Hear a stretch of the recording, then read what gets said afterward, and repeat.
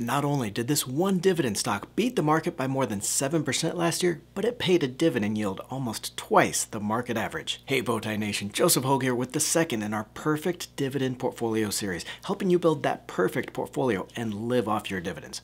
I'm covering every dividend type and strategy from high yield to dividend growth, monthly dividends, and ETFs. In each video, I'll show you the five dividend stocks to consider, then reveal my favorite, the stock that's in my dividend portfolio. This week, I'll show you five of the safest dividend stocks in the market. Dividend stocks that between them have increased their dividends by more than 50 years and pay an average yield of nearly 5%. Stick around and I'll also show you how to find these dividend stocks that will never let you down and reveal my favorite stock to buy. And it's hard to get any safer than our first dividend stock, Prudential Financial, ticker PRU, with its 4.8% yield and 15 straight years of increasing payments. Cash flows in the insurance segment are extremely predictable, helping to smooth out the volatility in the company's investment management and retirement annuity segments.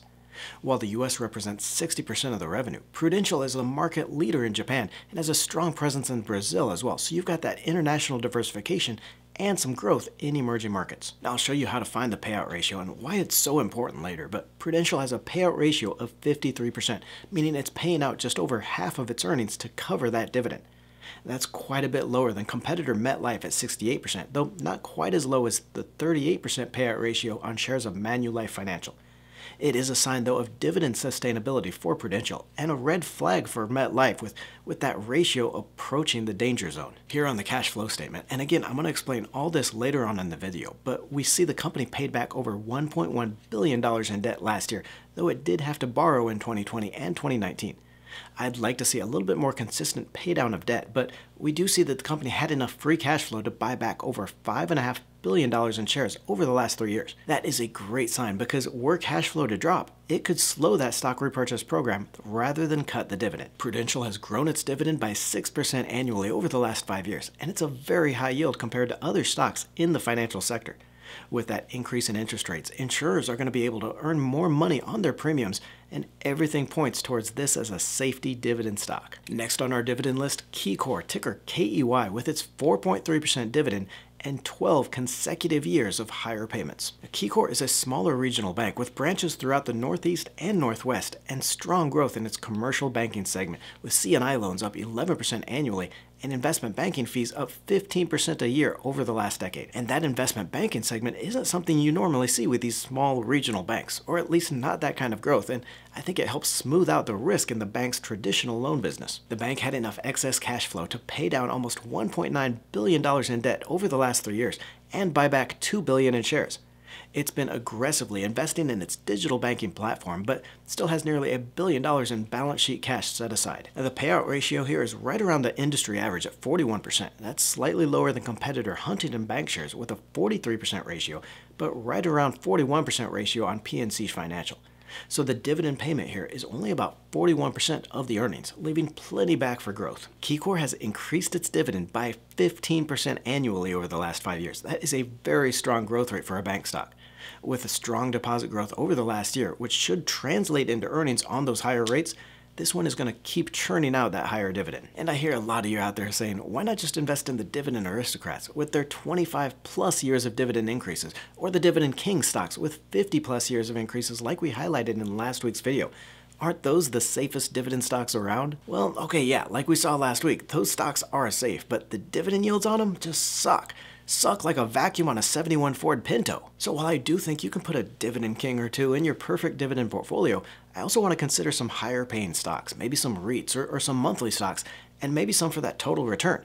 It's why I'm doing this series, focusing on a different type of dividend stocks in each video so you get the best of every strategy. So be sure to join the community. Tap that subscribe button so you don't miss a single episode. Main Street Capital, ticker MAIN, is our only BDC of the group, paying a 6.8% dividend yield and increasing the payment for 10 straight years. Main Street is a business development corporation, or BDC, specializing in loans and equity investments to mid-sized businesses, with shares producing a 9.2% annual return over the last five years. The company has regularly increased its dividend, now up 105% since its 2008 IPO, and often even pays a special dividend. Main Street has 182 portfolio investments as of the most recent quarter, with its largest representing just 3% of the total fair value. So a hit to any of those investments isn't going to hurt the shares much. The weighted average yield on the portfolio of loans is 9.6%, so well above that dividend yield, giving this one all the dividend sustainability and room to grow. It's only grown the dividend by 3.4% annually, but this is a monthly payer and one of the few to produce that kind of share price return as well. We've still got two more of the safest dividend stocks to highlight, but first, I want to personally invite you to get the Weekly Bowtie, our free weekly newsletter with all the stock market news, strategies, and trends you need to know.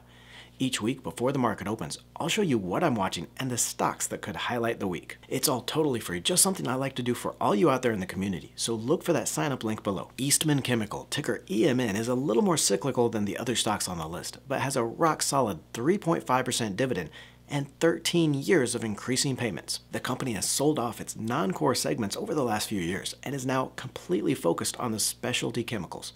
The company's Tennessee facility is set to start generating revenue this year, so we have top line growth and a $200 million cost reduction plan should help return profitability and earnings growth. Now, like I mentioned, the chemicals manufacturing is more cyclical than a lot of the stocks on the list, like insurance and diversified financial, meaning the business could fall harder in a recession, so we want to pay special attention to the fundamentals here. Eastman has been able to pay down its long term debt in each of the last three years, though it did have to issue some short term debt last year.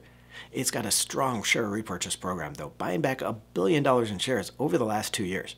Not only is that going to help drive that earnings growth, but if sales or profits take a tumble, the company can always cut that buyback program rather than the dividend. The company's payout ratio is also lower than most of its peers, with just 48% of its earnings going to pay for the dividend, while competitor PPG Industry has 55% of its earnings committed to that dividend, and it's as high as 64% for Air Products and Chemicals. Eastman has grown the dividend by 7% annually over the last five years, and that low payout ratio means it should be able to keep up that kind of growth even if a recession hits its earnings. I'll reveal my favorite safety dividend stock next, but all you out there in the nation know this channel isn't about just dropping some stock picks in your lap.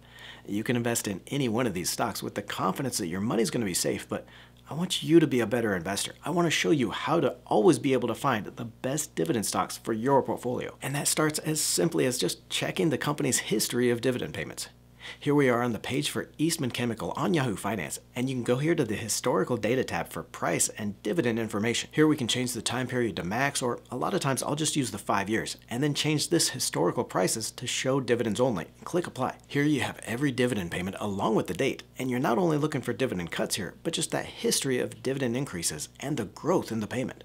You can download the data into a spreadsheet or just look at it this way. It's just a really easy way to start out, making sure that you're found a company committed to that investor cash return and increasing the dividend. Next, we're checking for dividend sustainability. How safe is that dividend? And we do that first by checking what's called the payout ratio. And remember, this is the percentage of the profits paid out to cover the dividend. How much is it paying investors and how much of the profits are held back for growth? Because a payout ratio too high means the company may not stay competitive. Sales and earnings growth could suffer and eventually that dividend could be in danger. And you can calculate this manually by adding up the last four quarters of earnings. Here we scroll down on Yahoo and we find Eastman's earnings. If we add these four quarters up, we see the company reported $7.94 per share in earnings over the last year. Here at the top, we see the annual dividend amount. Eastman is now paying out $3.16 a year in dividends, and if we divide that by that $7.94 in earnings, we see the company is paying out 39% of its earnings as dividends. That's the payout ratio, 39%. Now, as a general rule, under 50% isn't too bad, but you really do need to compare this with the payout ratios from competitors in the same industry. For example, companies in the consumer staples sector, like Coca Cola or Pepsi, with those extremely consistent cash flows, can get away with payout ratios as high as 60 or even 70%. I would worry about a company with a payout ratio over 70% because no matter what industry, that's not much of a cushion for earnings to drop before the dividend is in trouble. Uh, likewise, a payout ratio under 40% is generally a good sign for any industry, as it leaves a lot of those profits back to reinvest in the company. Last check here, and we'll get back to our list, but this is one of the easiest ways to verify a safe dividend before you invest. Here we're going to go to the Financials tab and we'll go to the Statement of Cash Flows. In Financing Cash Flows here, you'll find the information on the company's payment of debt as well as whether it's issuing or repurchasing stock.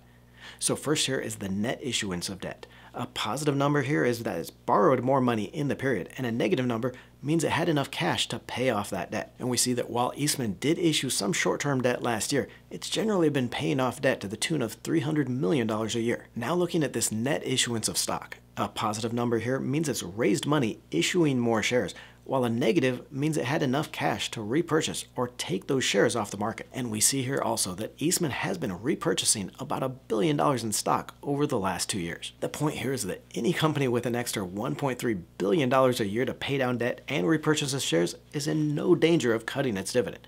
Even if earnings and cash flow were to fall, the company would cut back on that share repurchase program or slow down its debt payment rather than cut the dividend.